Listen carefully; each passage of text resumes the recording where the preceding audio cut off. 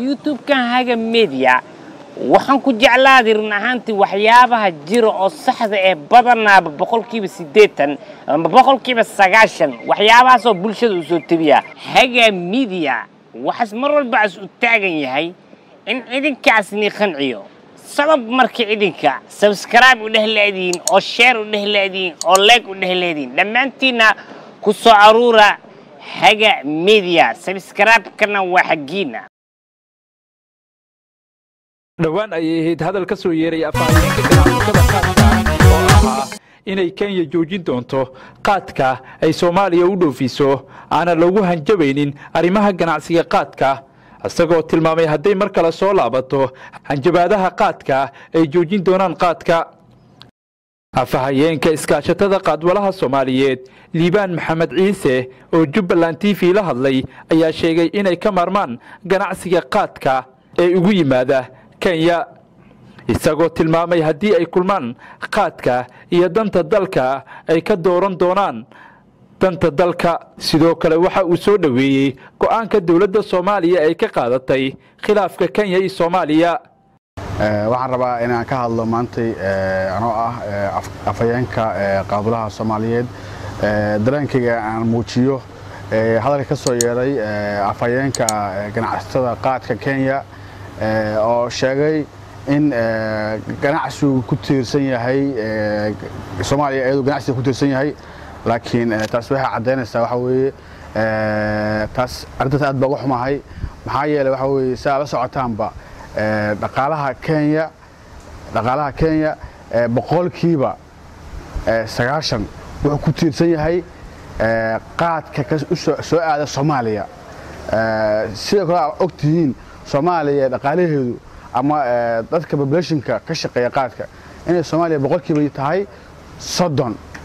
Marka taas anigu kolley waxaa ku tilmaami karaa arrintaas qarow afhayeenkaas uu qarowey maxaa yeelay annaga waa awoodnaa inaan joojinno qaadka laakiin waxaan ognahay iyagoon is awoodin. Maxaa yeelay waxa waxaan ognahay gobol dhan mirow la yidhaahdo oo yaraan koonfurta soomaaliya la-eg ama ka weyn.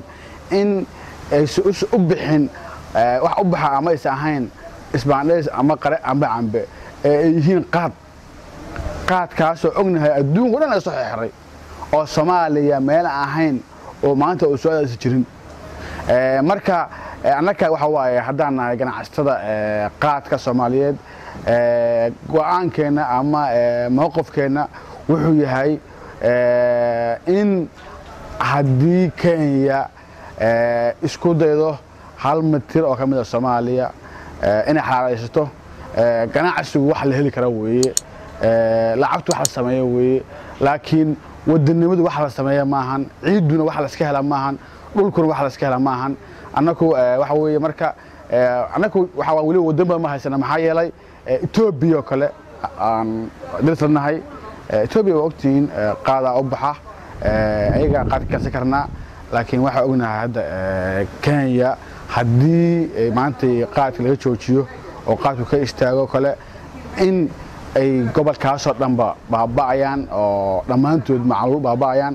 Laakiin soomaaliya soomaaliya laakiin ma dareemayso mana dhutunayso haddii maanta kenya laga joojiyo. Midda kale labada kale rabaa aan sheegay waxay tahay markay timaado ganacsi iyo wadaninimo annagu sideeda ganacsi wax la samayn kara weeye laakiin xaqiiqada waxay tahay annagu wadaninimo dalkeenna ciiddeenna hal mitir oo aan ma jirto nafteenna iyo maalkeenna waxaan u huraynaa ciiddeenna iyo dhulkeenna baddeenna hawadeenna intaba u huraynaa waa markay timaado opshinka ah wadaninimada iyo ganacsiga.